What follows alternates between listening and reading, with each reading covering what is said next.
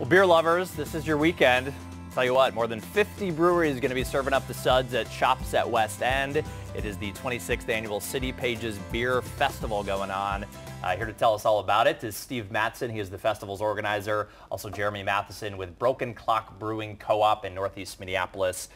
Good to have you here. Yeah, thank you very Thanks much. for stopping by. Yeah, uh, the festival, it's been going on for a number of years. What yeah is this 26 years. Yeah. Amazing. Yeah, one of the longest running in the state for sure. Uh, what all do you guys have planned this year? You know, so we've got 50 great breweries. Uh, Jer- Jeremy's down there. We've got uh, uh, food trucks. We've got live music. We've got something for everybody. We've got a VIP package if you're interested in a little more than just, you know, walking Yeah. around sampling products. You can get full-size beers from Montgomery Brewing down there too. So um, Mm-hmm. lots of great things to do. And obviously at West End, you can shop, you can eat, you can do things before and after too. So uh, makes a great Father's Day gift. Come on down. Yeah, absolutely. Yeah, yeah. Um, I was reading that it's a good opportunity to taste a lot of these new brews kind of early in the season that some of these breweries are rolling out. the timing of it's perfect because most of them come out towards the end of April, early May. So this is kind of the first big beer festival, Mm-hmm. especially for the guys in the west suburbs. Or if you want to try one of these out, this is the place to do it because it's not too far from home.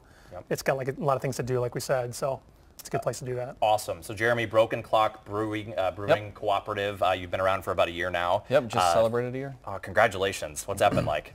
Uh, I don't know where where it went. It Here it just flies by just, it just right? happened. Yeah. Somehow we survived. Uh, if people have not been to your brewery, have not tasted your beer, how do you describe it to people? We are we're a community-owned co-op, so we have 430 members that own the brewery equally. So we tell people it's community-owned brewed. If you want to have a say in the beer that you drink, Mm-hmm. you should join our co-op. Awesome that you, you take their input. That's that's right. That's That's fantastic. Uh, you have some of your selections here in front of us. Uh, why don't we start on the right side here? What did you bring? Yep, we've got the four beers that we'll have this weekend. The first is our two brew. Mm. Um, it's a coffee kolsch, so it's a light German style ale that we infuse with tiny footprint uh, coffee out of Brooklyn Center. So, Fantastic. So negative negative carbon coffee. Yeah, love Everything that. Yeah. Um, Awesome. Our second one is our New England IPA. It's our newest beer. Um, it's kind of the big trend right now, the hazy, the juicy, real citrusy, pineapple-y uh, New England IPA from the East Coast. Awesome. Moving on Uh, down here. Third, we have our Sundial IPA, which falls more into the West Coast traditional,